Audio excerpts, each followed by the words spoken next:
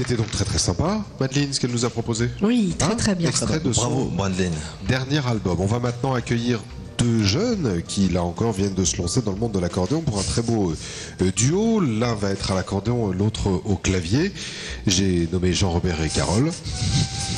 Et ça vous va comme présentation ou C'est peut-être un peu too much, non? C'est un, un petit peu trop, je trouve. hein. Un petit peu, un petit peu trop.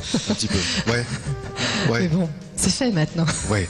Et en même temps, ils ne nous interprètent, je, je me permets d'être un peu grandiose, parce qu'ils vont nous interpréter un superbe titre qui, je vous le dis à chaque fois, mais je l'affirme haut et fort, qui fait danser toute l'équipe quand on est en montage de ces émissions. Une petite chanson pour te dire que je t'aime.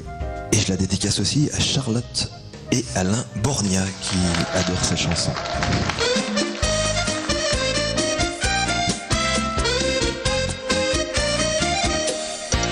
Anniversaire,